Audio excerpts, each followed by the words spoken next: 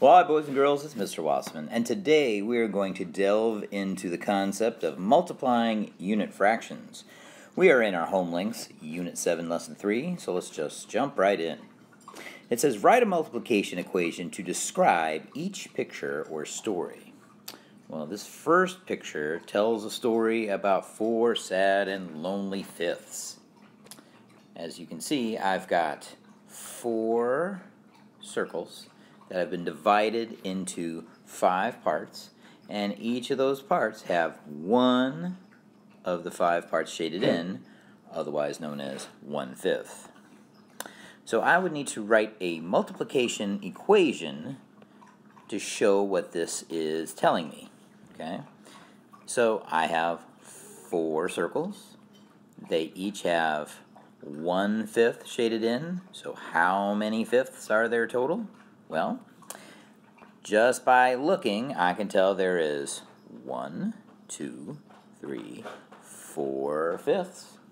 So that must be my answer. 4 times 1 fifth equals 4 fifths.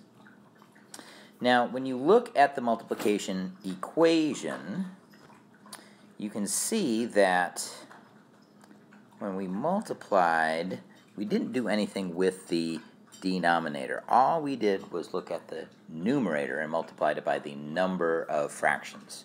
Okay, 4 times 1 equals 4. So 4 times 1 fifth is going to give me a total of 4 fifths. Now, you might be wondering to yourself, well, what's the big deal, huh? I could just count them. I could just look at them, right? Well, what would happen if instead of 1 fifth, we were now looking at 4 fifths apiece? As you can see, I recolored my fractions to represent 4 fifths instead of one fifth because each pi, each circle has 4 out of the total 5 fifths colored in.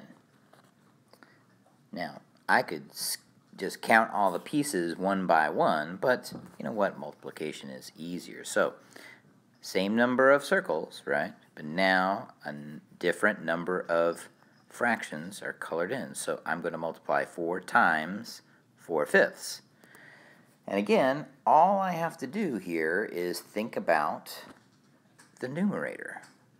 And what's 4 times 4? Well, you and I both know, hopefully at this point in your fourth grade career, that 4 times 4 is 16. 16 what? Well, that would be 16 fifths, right? So whenever I'm multiplying fractions by a whole number, all I have to do with the fraction is think about the numerator. Now, sometimes kids will get confused. They will look at a problem like 4 times 1 fifth, and they feel like just multiplying the numerator isn't enough. Like they somehow feel that they have to do something more. So they will take a problem like 4 times 1 fifth, and they will come up with an answer like this. 4 twentieths because they went and multiplied the numerator by the whole number and then they multiplied the denominator by the whole number and now they have a fraction does just doesn't work so I'm going to scribble over this because that's wrong wrong wrong wrong wrong wrong but it's understandable why kids would do that because they see numbers and they want to multiply them okay but when we are thinking about fractions, this number, this number right here, the denominator, doesn't change. It is describing what we're multiplying together. It's the unit, it's the item that we're multiplying. It's one of the reasons why multiplication was invented in the first place, to help us count groups of things. Okay? So 4 times 1 fifth is going to give us 4 fifths. Okay? The second part of this question says, what is the fourth multiple of one fifth? Well, if you recall, when I uh, think about multiples, I'm just adding the factor to itself over and over again. So if I skip count by twos, 2, 4, 6, 8, 10, the fifth multiple of 2 is 10 because 2 times 5 is 10. So what is the fourth multiple of 1 fifth? Well, it's a little redundant, but the fourth multiple is 4 fifths. If I were to write out the multiples in order, I'd have 1 fifth, 2 fifths, 3 fifths, 4 fifths. This is the fourth number in a row. It's my fourth multiple, 4 fifths. So these two answers are the same. Okay? So when you take a look at these next three problems, you need to be thinking about what is the fraction I'm multiplying and what is the whole number factor I'm multiplying it by. And again, I'm only going to be looking at the numerator. Okay, so for example, in question number three, Dimitri fixed a snack for five friends. Each friend got half of an avocado. How many avocados did Dimitri use? So if I have five friends, like so, and they're each getting a snack of half of a avocado. I'm assuming it's going on toast or something. Just half an avocado doesn't seem like much of a snack. But I digress. Again, all I'm doing is I'm multiplying the whole number, 5, times the numerator, 1.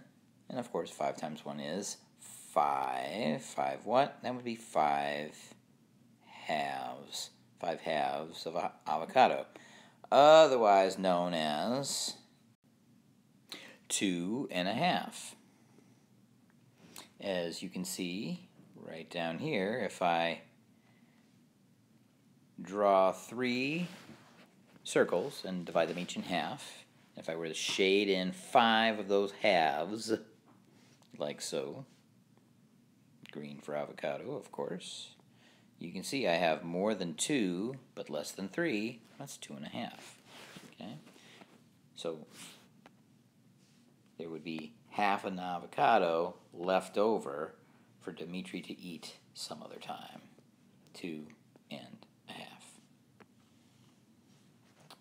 Down at the bottom in the practice, we have some addition and subtraction of some fractions. This is a good review, especially since that multiplication is just repeated addition. So when you check your work, you can check your work using a repeated addition fraction problem, right? Questions? Well, you know what to do. You need to talk to your math teacher. Now, if I don't happen to be your math teacher and you're just watching this video because your math teacher has great taste in YouTube content, uh, you need to reach out to them. Whether you're a virtual student watching this video from home or if you're in class uh, in person with your teacher and you just happen to be watching this at home as part of a homework assignment, or maybe you're even watching this in class uh, sitting at your desk and your teacher is just patiently waiting for the video to complete to field such questions from his class or her class. Well, you just need to ask them. They don't know to help you unless you tell them. Okay? I hope this video was helpful to you, at least in some part. Um, until we talk again, friends, good luck. Have a good day. Thanks.